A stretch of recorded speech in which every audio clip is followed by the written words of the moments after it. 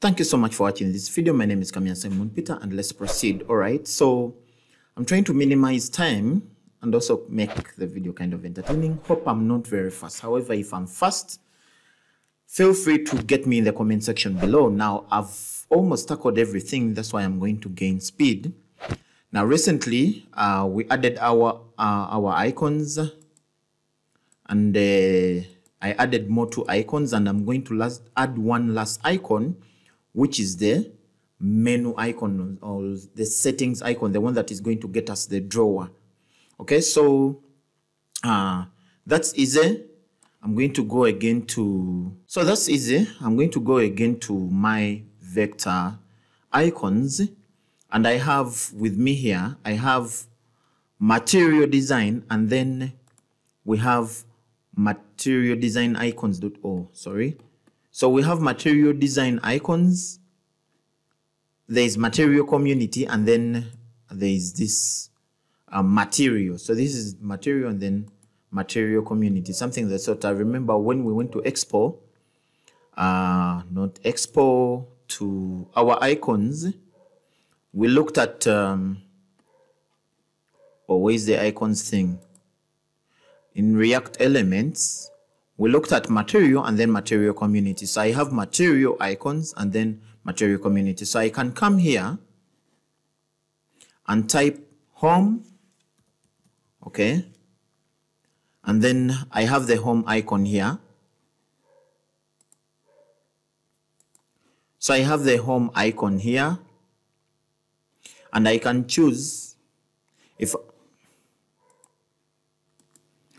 So I have the home icon here. I can choose if I want the icon to be filled, outlined, rounded, okay? Uh, to, uh, to have a tone and then sharp. That's up to you. And then the moment you click on the icon, okay, like this, you'll have the option here, down, okay? So it's just taking time to load. All right, here it is and then you select the icon and then you download the PNG and you get the option. Okay. So I do have my other material icons here and these ones all don't call for zip, but I can type the same here, home. Okay. And then I'll get the different home tags. Okay. So home, I just guess, yes, it's taking long to load, but you can see uh, there are different tags. There are more than those of material icon. So this one gives provides you more. And uh, when you click on the icon like this, okay, then you get one the sizes to um, first of all you get do you want a vector that is drawable or something of the sort and then the icon size do you want it uh, outlined or you want it filled now, the moment I click on which one I want, it goes to the other side. All right, so what I want to do, I just want to get a menu, okay, menu icon. So I'm interested in this one, okay, so the Google menu. There however, others, I can also choose to have this or the settings icon. So it depends on you. So this can be one for others to show that there's continuity. And uh, so I, I do feel there are others you can use, but this one is more universal. So I can also use the settings, settings icon or what they call the cog. So you can see there are different icons. Okay. So I don't know if I call the cog, I'll get it. So let me just type the menu and I get this. Okay. So I can choose which one I want. Do I want it in white? Which one I'll take all I want it in black. All right, so I usually download both and I just say menu underscore black. So this has been white. Let me just get sure. Okay, so I'll click on white and I type menu underscore white. And then I save to that same directory, so which is in my own server, and then www and then baby me and then app uh, assets icons I save and then I can also save menu black because I don't know when I'm, I'm, I'm making decisions of uh, what if I change the color to white and I need white, you know, uh, black icons. So that's why I'm downloading both. So I just need to change uh, one of them. Or you can even make uh, the uh, the person who is in the who is using the app to choose what theme they want to use, and then the icons will correspond according to the way you do your programming. Uh, basically, that's your decision. So I'll go to again and save black. All right, and I'm looking for it in Baby Me, app, assets, icons, and then I save. All right, so I do have my icons. I'll just come back here. So I'm going to create the fourth icon, which is going to be the settings, and I'll put it here at the end, or I can even put choose to put it up there. And then uh, I'm going. I'm just going to copy this touchable, and I require the same image because it's already in the same folder. And then I'll call it instead of chart, I'll call it menu white, and then I save right? So i expect to see it somewhere there and there it is. So i'll need to so we want when we click this it toggles the drawer. All right so one other thing i want to look at is now what if i give one icon here a background color? So i'll give it a style a background color. Background i'll put okay background is one word background color and I'll give it a red for the moment. Then I save. You can see that's not occupying everything that we have here. See that? So one, one thing I want to talk about, I remember talking about the flex and I was talking about the flex wrap. Okay. So I already have the flex wrap here, but what flex wrap would do, in case I add more icons, okay, we're going to have icons I've added several of the menu icons, okay? So they are in the same row, okay? I've add flex to wrap, they're in the same row. I don't know if I how many I need to add, but I would expect them now to, okay. So you can see after creating like about 10, it has um, created one other row down there, okay? So that's what the flex wrap does and we're going to be seeing it in our final app of Baby Me. You get it? So if I come and remove uh, the flex wrap here and I save, it is squeezing all the apps in one, all the menu items in one row. So that's the purpose of the flex wrap. And then for us to be able to work on the content here, we uh, justify content and stretch it, we need to have our flex wrap. All right, I remember talking about, highlighting about this in the first division.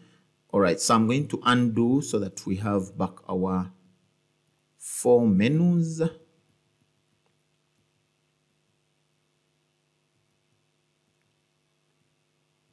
Oh my God, okay. I'm still undoing. This is one, two, three, four, and five. Great. All right, so the first thing we, do, we need to do, when uh, the moment I choose that I want to, for example, I want to stretch the content. Okay, so I, I have the flex direction already.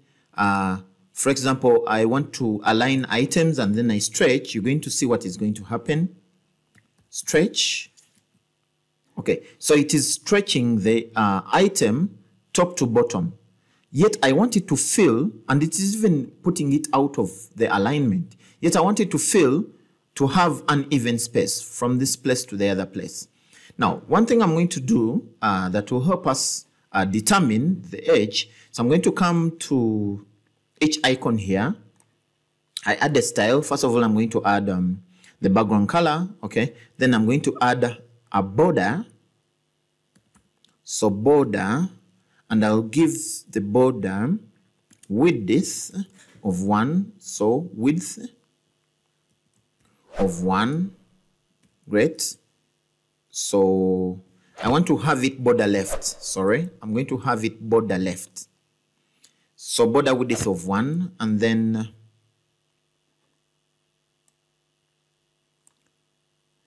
I, I want to have it border left. So border left. Okay. So border left with this border right. Come on. Border right, sorry. Border right. Okay. And then the other, I want to have it white.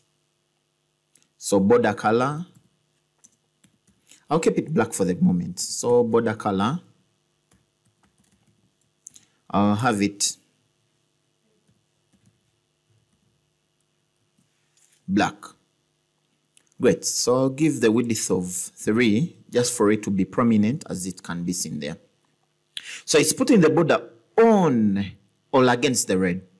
So one thing I want to do, I'm going to copy the style and copy it into the others. Copy the style and put it into the this, onto this, and lastly onto this all right, so I'm just going to change the background colors so that we have a difference, at least something that we can look at. So this will be uh, pink, and this other will be brown, and the other can be blue. Hi, I'm briefly interrupting these videos to let you know of a list of videos that will help you create a working prototype to let you come from basics to intermediate. That will be followed by another list of videos that will help you work on a full e-commerce application. Please click the link in the description to go and watch those videos and support this channel. Thank you. Let's proceed. So for me to have the icons like cover up, okay, so I'm going to have uh, a flex grow. So flex grow. So the, the, the inner content of the item is going to grow, okay, onto the flex. Remember that our flex wrap is uh, on the, the whole class here, is on the whole view, okay? So it's going to grow and I give it a, just a digit. Let me give it three. Okay, so you, as you can see, you can see that the, the item here has grown three of the four icons that we have, okay? So what if I give all of them three? I'll add this and then paste, paste, Okay, let me save on that. So you can see these two are stretching well, else the last one. Okay, and you can see the border is at the position, and then this, just like that. So which icon do you want to be prominent is what you can decide. So which means now I can come back here. Remember we aligned the, the items to stretch, okay? One was stretching, now, all of them are going to stretch, but and it will be evenly. So I'm going to align items, align items, where are you? So the items inside, you get it? Eh? So the items, so we are stretching the touchable opacity, not the image. We are stretching the touchable opacity. So align items, stretch. Yes, there we go. So what I need to do again is come down here, okay? And then I justify content, okay? And then I center it. So I'll justify. So I'll justify content. And then that will be center. Let me save. All right, so you can see we have it in the center. And then again, align items. So align items. Now I'm aligning the items inside the touchable opacity. So align items, again, center. So remember inside the touchable opacity, that's where the image is. So you can see now I have my uh, whatever background or filling that whole space of the view and then aligning items into the right, okay? So in the beginning, our app may not um, look so fast. I don't want to go straight into the app. Uh, but please feel free to support. I've created a course, okay, about a basic app for the support. And then uh, when, when you when you go and apply or subscribe for that course, uh, the course is a one-time subscription uh, for three to four months. I'll I'll you'll receive my support channels, social media handles, and whatsoever. And then I have one-on-one support for uh, for the basics. And then I have again another course where I'm creating a full-time e-commerce platform called Baby Me. But in the beginning, we're going to be following a data gathering app, just you know, forum and whatsoever. All right, so I'm going to paste and then uh, again paste, again paste, and then to the last icon, paste. So when I save, I have all my icons in the center, apart from one here that I see, justify content center. I don't know if I've done it to this. Okay. And now the reason why this is stretching here is because I've added it to the to the style of the image instead of adding it to the icon. All right, so let me just take off that. Then we have a uniform. So I've added it to the style here. Oh God.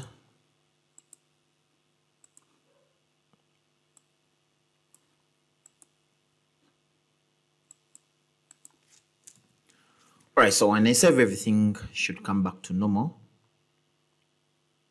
Hey, Mr. Icon. What is happening? Justify content center. All right, so I don't know why the change is not uh, getting done there.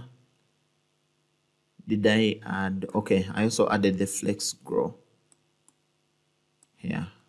Okay, I'll take it off.